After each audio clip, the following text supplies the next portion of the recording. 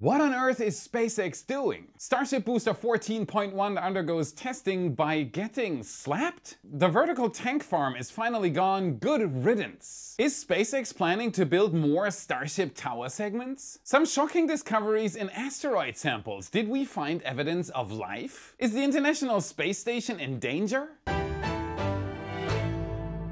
My name is Felix, welcome to What About It, let's dive right in. Starship updates. There has been a ton of interesting news this week from one of the most unique tests SpaceX has ever done to a shocking discovery about our early solar system. This week is packed with exciting news. Want to find out just how exciting? Let's do this, follow me. Let's start at the Starbase build site, where SpaceX's teams are still hard at work replacing the old heat tiles and adding the ablative layer to Ship 30's stainless steel hull. So are they going to add this new ablative layer everywhere? No, check this out. It looks like there won't be any ablative material around the tip of the nose cone. But why is that? Isn't that very risky? Well, it's likely because of what's on the other side of the steel here, cryogenic liquid oxygen. In other words, this area basically has unintentional active cooling. Or at least partly, because it can be risky to have propellant which should be used to land evaporate and get vented overboard. It'll be interesting to see if this will cause trouble, but SpaceX seems to be confident enough.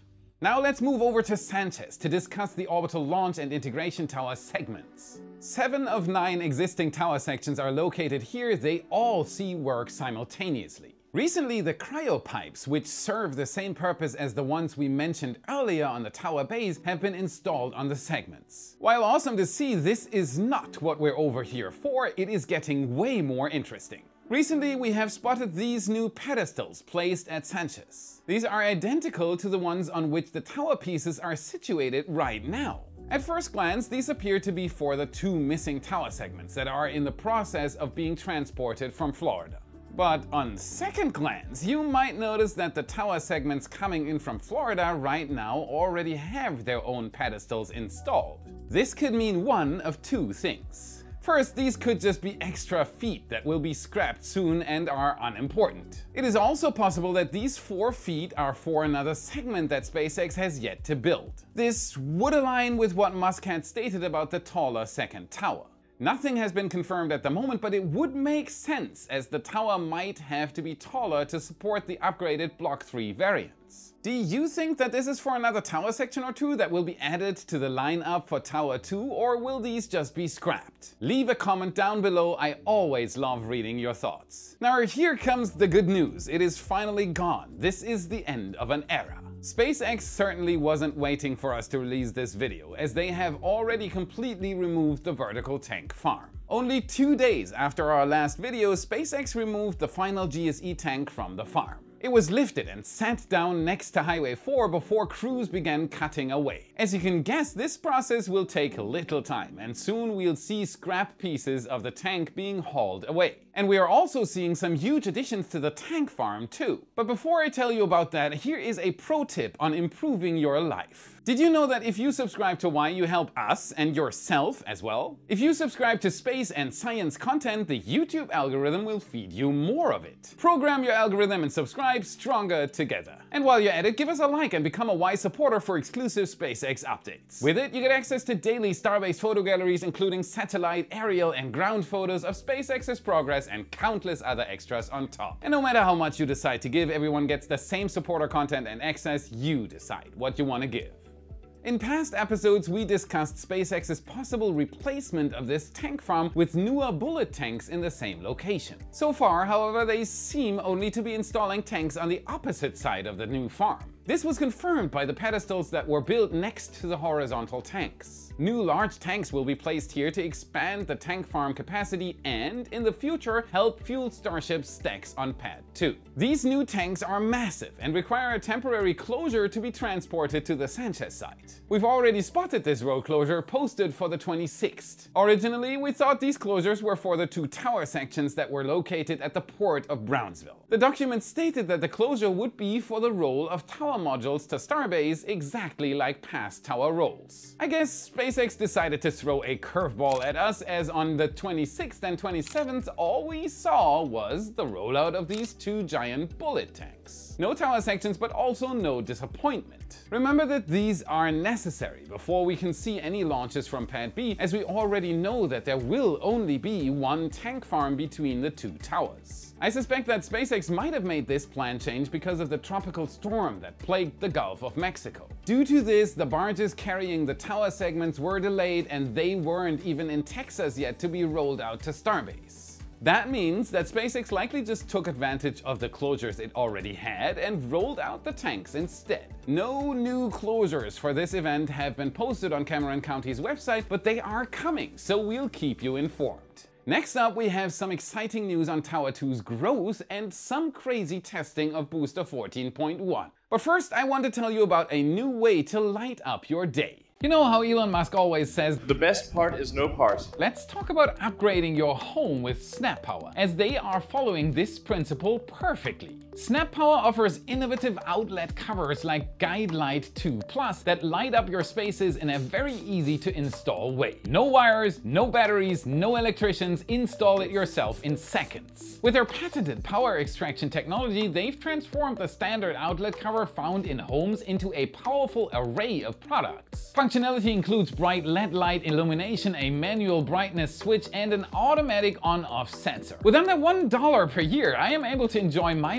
models in dim light, bright light, or off in the complete darkness of space. And I can do that for the next 25 plus years. Save outlet space, follow the best part is no part, and click the links in the description to get 10% off your SnapPower Guide Light. All illuminated, great back to SpaceX's crazy fast expansion plans. This is it, the latest addition to the most important rocket development in the industry, Pad B at Starbase. This will be a new tower to launch and catch starships, and as you may know, it is basically a launch tower of the future. And this future is turning into reality in front of our eyes. SpaceX has been hard at work building this massive structure, and there are a few noteworthy developments. Most importantly, we know when the tower will finally be finished, but first let's go over some of the work that we've seen so far. We recently saw them begin pouring concrete down the legs of the tower. This helps cement the whole tower in place and stabilize it, very important step. If it hasn't already, the whole process should be done soon and then all major foundation work will be finished. Other work that has been done is installing the floor to the drawworks. Very important. This is where the equipment responsible for moving the chopsticks is housed and it is one of the tower's most essential components. Especially when you want to stack and catch the world's heaviest rocket. One last thing they completed was installing cryogenic pipes used for carrying propellants up the tower to the ship's quick disconnect. These must be installed on each segment before stacking and on this base structure. This will nearly conclude the work on the base and then they can finally stack the tower. Anticipation is building. Okay, now for the news that the FAA recently released. Spoiler, it is about stacking. The FAA controls everything now. We still don't know when Tower 2 will begin stacking, but we do know when it might finish. The agenda for SpaceX's new CC-8801 crane was posted on the FAA's website, revealing a lot about the tower itself. For tower sections 1 through 6, SpaceX will use the current crane configuration, rising 460 feet off the ground. This will last until July 27th, when the crane will be lowered for an extension to 566 feet above the ground. Yep, it can get even taller. This extension will last until August 15th and will be used to assemble the final sections. However, the crane won't be done yet. They will then shrink it to an undecided height just lower than now. It will then be used for quote, smaller projects on site. That is assumed to be the end of the SpaceX crane and it will most likely be shipped away after that. If this is correct, we should expect Tower B stacking to be done by August 15th. If it weren't SpaceX, I'd be amused, but because it is, I'll just give a nod of approval. Now, it seems SpaceX has begun testing Booster 14.1, so let's take a look and see what's going, uh, uh, what? Did they just seriously slap it? Mad Max! Non-violent testing is officially out the window. Jokes aside, here is the reason for this bizarre view.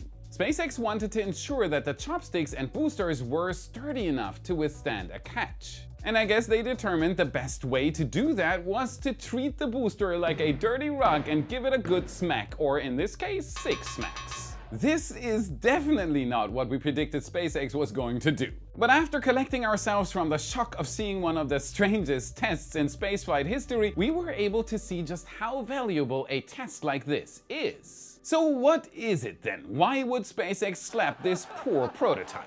Well, it's obviously to train Mechazilla to fight Godzilla. Duh. No, no, I'm just joking. Well, partly. Using Booster 14.1 as a punching bag allows SpaceX to test and train the programming used to maneuver the gigantic Mechazilla arms. And this is important as these arms have a lot of inertia. It is important to find the right speed to bring them in, so the booster or arms aren't accidentally damaged on landing. Of course, SpaceX was also testing to see just how much the punching bag or Booster 14.1 could take. Having a strong booster allows for a wider safety margin as SpaceX doesn't need to worry as much about crushing the booster like a can. Knowing the limits will enable them to move the chopsticks as fast as possible. But that wasn't all. The tests got even more exciting and I can't wait for the real thing. SpaceX didn't just perform some slap tests. Love the name. They also performed full arm catch tests with the rails lifting and pushing up against the booster's pins. So instead of training Mechazilla to fight a giant fire-breathing lizard, SpaceX is training it to fight a giant fire-breathing broomstick. Not too bad. I don't know what Fish and Wildlife would say if SpaceX fought endangered lizards at Starbase. After all the testing SpaceX completed, Booster 14.1 appears unimpressed with only minor damage. The chopsticks are a similar story. The only noticeable damage is some missing material on the shock absorbers. After a quick inspection, Booster 14.1 was lifted off the launch mount and placed on a transport stand.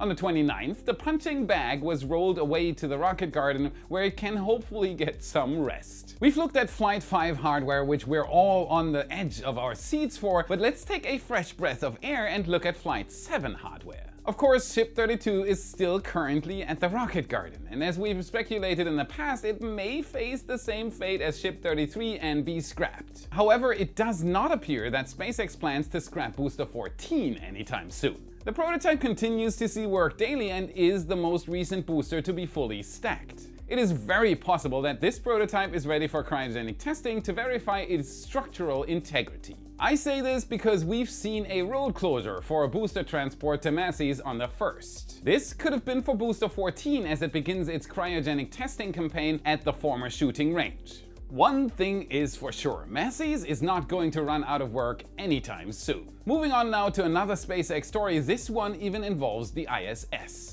For decades, the International Space Station has symbolized hope and progress for humanity in space. This was especially true after the Apollo program was cancelled, the Cold War intensified and things weren't going well. But we are long past those days now. The ISS and equipment essential to keeping it operational are getting old and showing their age. Recently, just before a spacewalk, water began to leak from an EVA spacesuit that astronauts use for spacewalks. Clearly, this isn't good, and it is just another example of the ISS's long list of age-related problems. Something needs to be done. In short, NASA plans to replace it. But what are they doing with the old station? Unfortunately, it appears NASA plans on a fiery re-entry for this old trillion-dollar icon. It's a typical end for a space station life. The old Russian-built Mir saw the same fate. To make this entry safe though, they need a deorbit vehicle which NASA has now selected SpaceX to provide. Given that the plan is to deorbit the station by 2030, it wouldn't surprise us if a Starship provided that capability by then. Maybe, just maybe, SpaceX could even load a few important pieces into a Starship and bring them back safely. Imagine Unity, which was the first US module to go up in a museum. But they can't bring back anything if a piece of space junk destroys the ISS first. Unfortunately, we just saw a lot more of it entering low Earth orbit as a Russian satellite decided to blow itself into millions of tiny fragments. We still don't know why this satellite broke up and it is unlikely we will hear anything about this from Russia, so for now all we can do is speculate. This breakup is just the latest debris spewing incident with the most impactful ones being anti-satellite tests. This is a particularly worrying event as low Earth orbit is getting even more crowded. It is hard not to fear an event like the Kessler syndrome where a cascade of debris causing more debris to form eventually makes low Earth orbit unusable due to space junk. Thankfully, this doesn't appear to have happened yet, but it is something to be cautious about. Now let's talk about something more positive again, a NASA mission that had some absolutely incredible success. OSIRIS-REx Security. NASA really wanted that acronym to work. It has been a resounding success for NASA, with the mission gathering samples from the 4.6 billion year old asteroid Bennu by the surface. The lander's goal was to collect 60 grams of sample from the asteroid. Instead, it collected over 120 grams with the container literally overflowing with regolith. These samples have now been back on Earth for a while, and we are finally discovering what secrets they can reveal about the early solar system. So what did OSIRIS-REx find? One of these secrets has turned out to be truly shocking. Asteroid Bennu may have been part of a world with water. Yep, you heard that right, another Earth-like planet. Researchers at the University of Arizona found significant amounts of magnesium sodium phosphates and other elements and compounds that suggest a watery past for the asteroid. This early watery world that Bennu might have been a part of may have formed near the very start of our solar system. If true, it produced these compounds before violently being torn apart and spreading them across the solar system. And it gets even more remarkable. These found chemicals are also biochemical compounds. So, aliens? No, but maybe something that can give us hope of finding some someday. These compounds are crucial building blocks for life and finding them on this ancient asteroid from when the solar system was first forming means these chemicals could be all over our solar system. This discovery also takes us one step closer to understanding how Earth became suitable for life. This shows us just how important retrieving samples can be, which is why China is also gathering some lunar samples. Ever since 2007, China has been launching space probes to the moon and four of them have even landed on the lunar surface. Their most recent mission is known as Chang'e 6. On May 3, 2024, the probe took off from Earth on a Long March 5 rocket, China's most powerful operational rocket. It took nearly a month to reach the lunar far side, but the probe finally touched down on June 1st. The lander spent two days collecting rock and regolith samples of the surface before launching them back into orbit aboard an ascent vehicle. The ascent occurred on June 3rd before the samples were transferred to a re-entry capsule inside the Chang'e orbiter module while in orbit. The samples were then carried back to Earth before separating and re-entering flawlessly. This was followed by a successful touchdown of the samples in the grasslands of Mongolia. Yep, the capsule is finally back on Earth, bringing the samples back with it. Since then, China has recovered the precious samples and returned them back to the company which built the craft. This is a big achievement for China as it cements them in history as the first nation to retrieve samples from the far side of the moon. That's it for today. Remember to smash that like button, subscribe for more awesome content. This is what fuels the algorithm and it helps us immensely. Check out our epic shirts in your favorite space nerd store. A link is in the description. And if you want to your space IQ even further, watch this video next to continue your journey. Thank you very much for watching and I'll see you again in the next episode. So instead of training Mechazilla to fight a giant fire-breathing wi wizard, no, fire-breathing wizard, no. Is SpaceX planning to build more Tower Starship segments? Is planning to build SpaceX Starship segments Tower? Yes.